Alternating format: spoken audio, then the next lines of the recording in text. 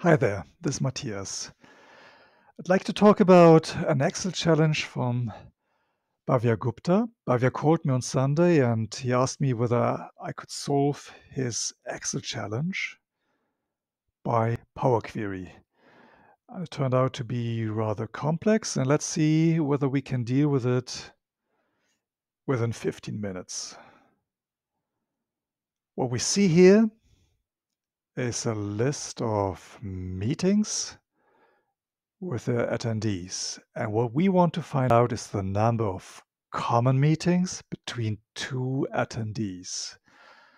So, for example, Bhavya and Arjun, they met once in meeting one and a second time here in meeting four.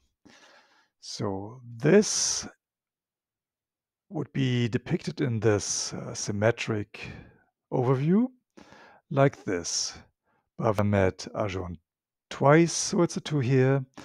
Arjun met Bhavya twice, so it's a 2 here. So that's an important aspect. We need to duplicate our entries, otherwise we can't uh, depict this so symmetrically. This uh, depiction also comes with an empty header here. So we have to take care of this as well. And uh, then from my side, we need a dynamic solution because it's uh, rather strange to have always the same number of attendees in each meeting. And also the number of meetings will vary from month to month. There will be new attendees coming, and so that complete uh, solution needs to be dynamic. So the names of the attendees are shown twice, and it's best to have this sorted. This is not sorted, but by appearance. Uh, so that makes it a little bit difficult to find your way around. Okay. That's all site show. The heart of the problem is identifying the pairs per meeting and how to do this. So that's not easy, but I got lucky because I have a ready-made solution. I posted on the very same Sunday a video for an Excel BI challenge where I had to pair nine clubs with each other so that each club played against the other eight clubs and only once against another club. So exactly the same problem. It's just easier to depict because this uh, are football matches and um, that's easier to depict than abstract pairs in a meeting. So let's take this as an example, how to build these pairs one by one. So we start with the first one. Milan goes to team one. All clubs below go to team two. Then Milan is repeated four times. Second club is Real Madrid, goes to Team 1. All clubs below go to Team 2. Then we repeat again three times. We go to the third club, Chelsea. Goes to Team 1. Two clubs below go to Team 2. is repeated twice. And then we are at the end because Barcelona goes to team one. And there's only one team below. Manchester goes to team two. So there's only one repetition. We're done. We've got 10 matches. How to do this in Power Query? Well, you could do it like this.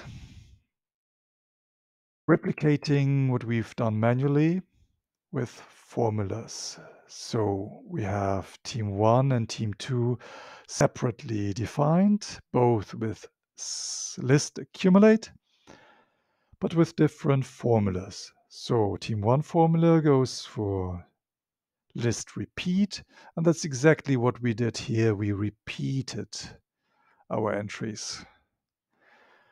And list skip for team two, make sure that the upper entries are ignored and we only look for the ones below the current club. So these two um, lists are then combined here in table from columns and give us our result.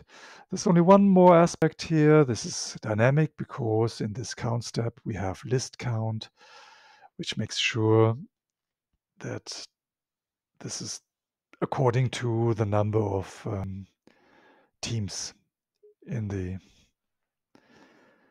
in the source. So, for example, doesn't matter whether it's four in a Champions League group or 20 in the Premier League.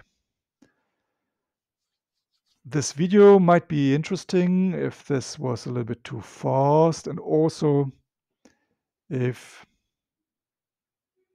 you're interested in an alternative for this formula here, this alternative would be by clicking and UI support. Now, anyway, let's go on to the results table here. And here we start to build the real query by creating a table, Control T. There are headers, so it's okay. I change the name to meeting. Meetings. And then I import to the Power Query editor with from table range. And there you see two queries. Uh, make it a little bit bigger. That's the club one, the clubs one, and we will have to adapt this one. And it's not just adapting the query. Actually, we are changing the query function. And I call the variable source.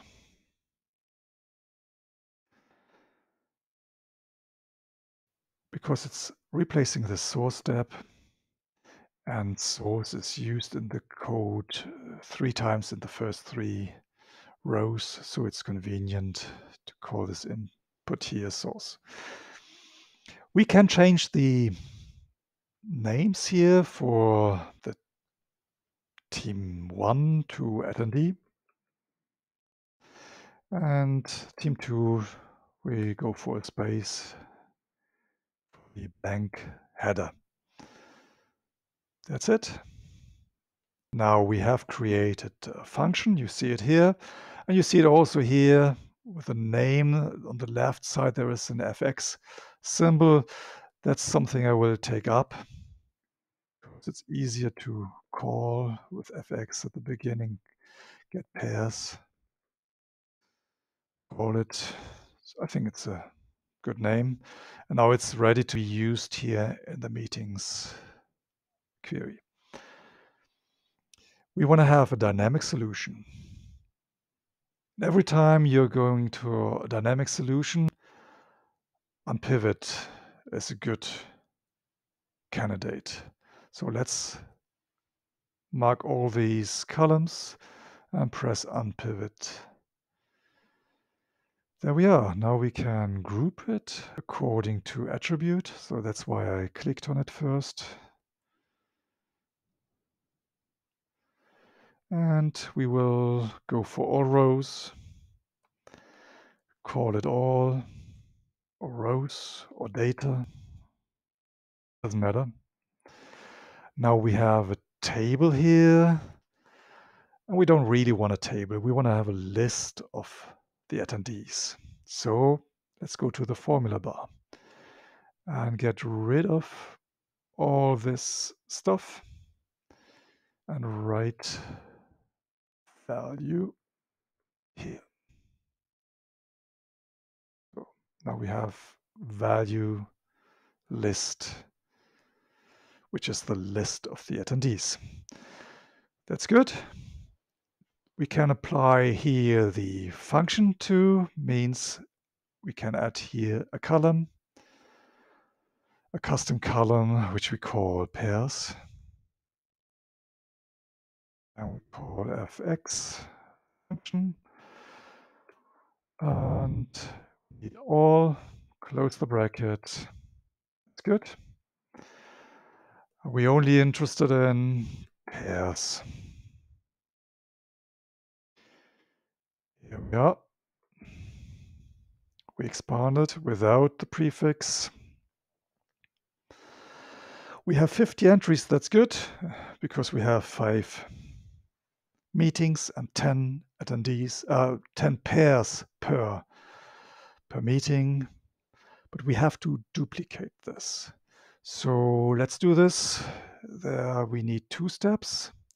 First is I need to swap the entries. So I bring in here a cast, uh, any placeholder. And here I write attendee. And this placeholder is replaced with the space. Now I swap the names for the headers. And then we can uh, paste them one above the other by appending here with itself. So if you have many, it's very easy. Go for the current one, click on it, and now you have 100 rows. Uh, but it's only going for renamed columns currently, and we want to have here expanded pairs in the second one. Well, the order doesn't matter. So we go for expanded pairs. Now we have them like we need them. So we want to pivot.